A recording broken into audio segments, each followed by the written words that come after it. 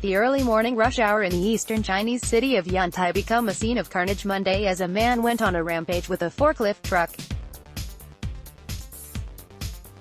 Police eventually shot the man dead after he killed one bystander and injured at least 10 others in the coastal city, which is some 320 miles southeast of Beijing, the South China Morning Post reported. The attack happened at around 7.20 a.m. close to a busy bus terminal near the center of the city. Police officers tried several different methods to stop the vehicle before resorting to lethal force. Local authorities said the decision was taken to protect the safety of the people and their property.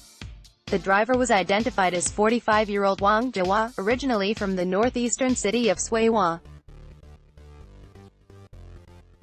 Police have not provided any more details on his background or a possible motive for the attack. Video footage captured by onlookers showed Wang crashing his blue forklift into cars and pushing them along the road. One car was lifted into the air and carried around 55 yards before being smashed down on a row of parked vehicles. Other drivers could be seen frantically trying to get out of Wang's way as he careered down the street.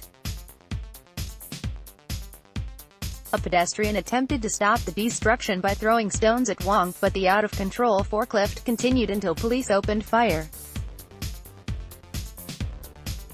At least five shots could be heard as officers shot Wong dead. According to a local business owner, who only gave his surname, Zhang, Wang's behavior was totally unexpected.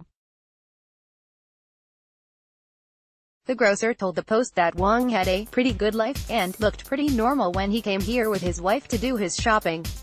Wang and his wife had apparently been living in Yantai for 20 years, with no sign of trouble.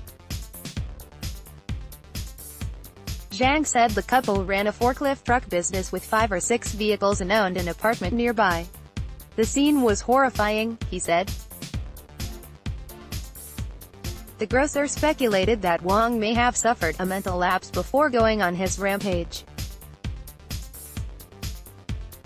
Another witness was working at a vehicle repair shop close to where the incident occurred. He said that at one point, the forklift ran into a police motorcycle, and the officer riding it leapt to safety just in time. The witness said police tried to talk to Wang, but he ignored them and continued to damage other cars and injure bystanders.